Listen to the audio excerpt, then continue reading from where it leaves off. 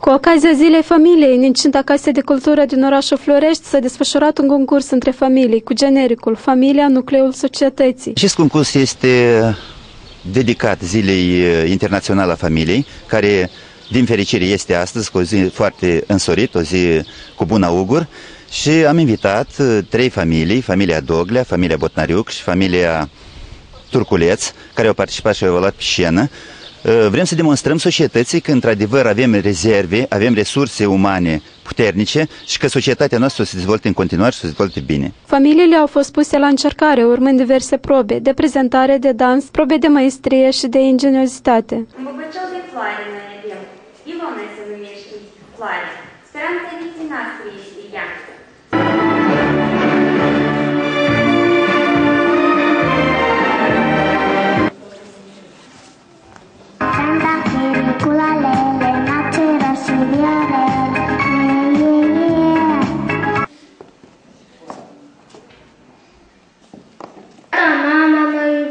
și de mine îngrijesc. Ține, Doamne, îndurate, la mulți ani cu sănătate. A umplut sărbătoarea de voie bună și zâmbete ansamblul de dans Mugurași și cântecele elevilor.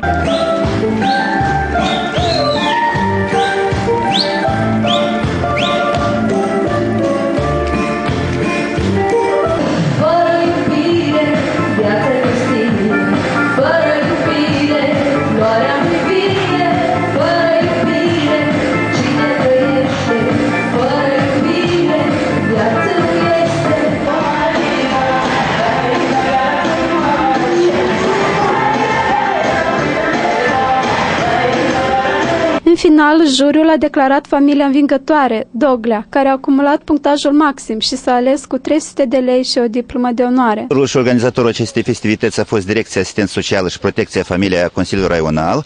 Noi am acordat în jurul la 3.000 de lei pentru, aceste, pentru această activitate. Pentru mine o familie fericită înseamnă totul pentru că noi într-adevăr suntem o familie fericită, o familie unită, care ținem unul la altul și vreau ca în continuare să fie tot așa. Ne iubim mult, ne stimăm mult, iubim foarte mult copilul și asta pentru mine înseamnă o familie fericită. Concursul s-a desfășurat cu scopul de a sensibiliza societatea cu privire la importanța mediului familial sănătos. Cred că acum e cel mai important că avem așa o zi, din simplu motiv că criza financiară Uh, starea socială a noastră e de așa natură că foarte multe familii uh, pleacă peste hotare, foarte multe familii se despart.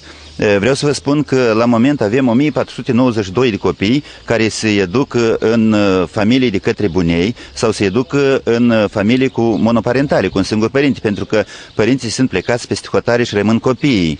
Avem 60 de de părinți, vreau zic de tați, care educ copiii mamele plecate peste hotare și avem foarte mulți tați care sunt plecați peste hotare și rămân copiii care nu au susținere. Și atunci intervenim noi, asistența socială și protecția familiei, care ajutăm familia ca să iasă din această criză. Festivalul Familiei în Republica Moldova a sporit gradul de conștientizare al participanților cu privire la valorile de familie, precum și capacitatea de reacție a autorităților centrale și locale față de problemele cu care se confruntă familiile în ziua de azi.